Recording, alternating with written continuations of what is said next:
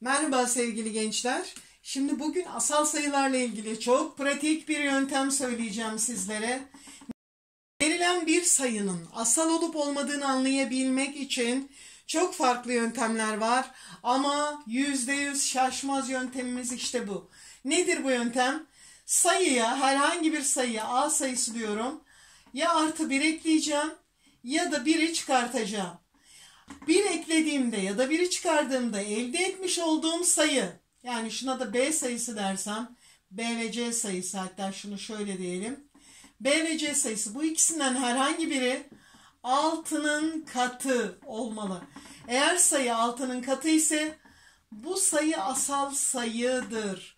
Ne demek istiyorsunuz hocam? Örnek verelim mi? E verelim. Mesela 19 sayısının bir asal sayı olduğunu biliyorum. Ama şu yöntemle deniyorum. Ben bilmiyorum mesela bilmediğimizi varsayalım. 19 sayısı asal mıdır? Neydi? Artı 1 ekledim. Eksi 1 ekledim. Elde ettiğim sayıya baktım. 19'a 1 ekle 20. Bu benim işime yaramaz. 19'dan 1 çıkar 18. 18 altının katı mıdır?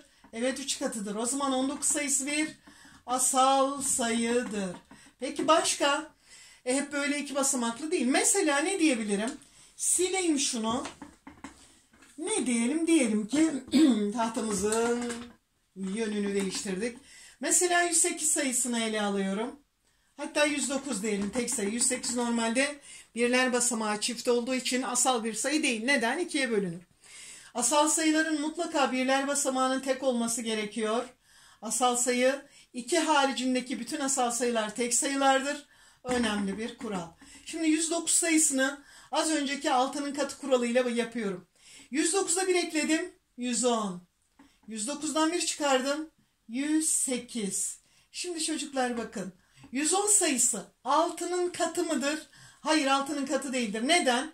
Altının katı olabilmesi için 6'ya bölünmesi lazım. 6'ya bölünebilmesi için hem 2'ye hem de 3'e bölünmesi lazım. 110 sayısı 2'ye bölünür ama 3'e bölünmez. Nereden biliyorum? Rakamları toplamının 3 ve 3'ün katı olmalı. E 1 artı 1 2. Hayır. Şimdi geldim şuna. 108 2'ye bölünür mü? Bölünür. Birler basamağı çünkü çift. Peki 3'e bölünür mü? Bölünür. Nereden biliyorum? 1 ile 8'i topladım. 9. 9 sayısı 3'ün 3 katıdır. O zaman bu sayı 6'nın katıdır. E peki 6'nın katı ise ne diyorduk? Bu sayı bir asal sayıdır. Peki deneyelim. Mesela 21 sayısı asal mıdır? Neydi kuralımız? E tabii ki biz normalde biliyoruz ki 21 asal bir sayı değildir ama bilmeyenler için gösteriyorum. 21'e 1 ekle 22. Altının katı mı? Hayır. 21'den 1 çıkar 20. Altının katı mı? Hayır. O zaman bu sayı asal sayı değildir. Bu kadar basit çocuklar. O zaman toparlarsak şunu söyleyebilir miyiz? Herhangi bir sayının asal sayı olabilmesi için birler basamağına baktığım zaman şu birler basamağının mutlaka tek olması gerekiyor. Çift olamaz. Çünkü bütün çift sayılar ikiye bölünür. E bu da asal sayının tanımına uymaz. Başka ne diyordum?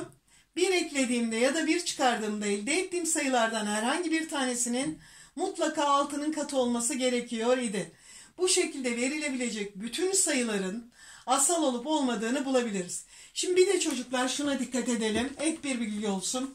Bazı sayılarımız vardır. Asala benzer ama asal değil. Mesela 51, mesela 57, mesela 93. E bir de şuna bakalım. Mesela 91 acaba asal mı değil mi? Bunu şöyle bir bırakalım. 51 sayısıyla hareket edelim. Şimdi 51 baktığın zaman asal sayıya benziyor. 57 baktığın zaman asal sayıya benziyor. 93 baktığın zaman asal sayıya benziyor. Neden? E birler basamağı çünkü bunların tek. E sayılar da böyle asala benziyor.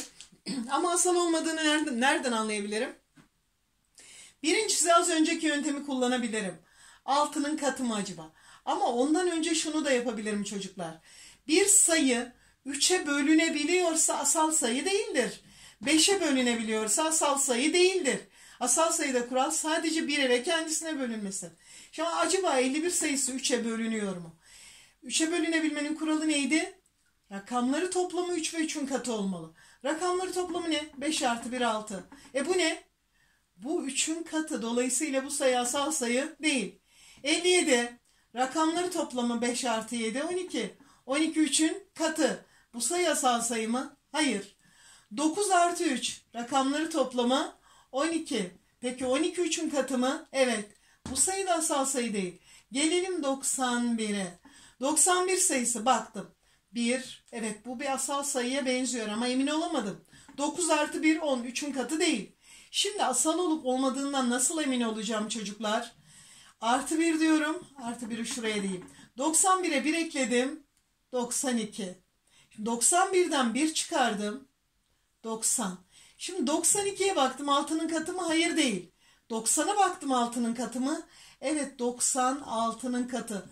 O zaman 91 sayısı asal sayıdır.